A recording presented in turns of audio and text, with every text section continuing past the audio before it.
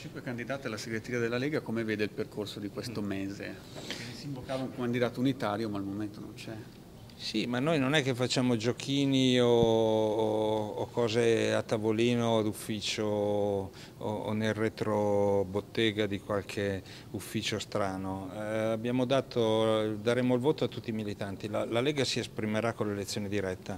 Ci sono tanti candidati, bene, è un segno di democrazia.